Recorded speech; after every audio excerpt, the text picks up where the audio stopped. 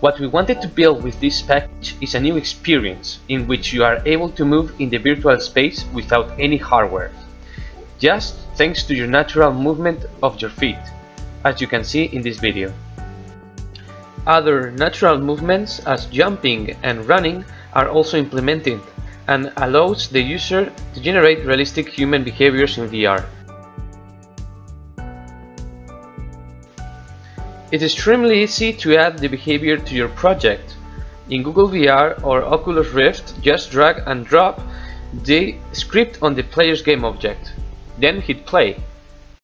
You will be able to move your headset using the default controllers of your headset. If you want to test the walking script, enable the acceleration debug boolean and move the slider.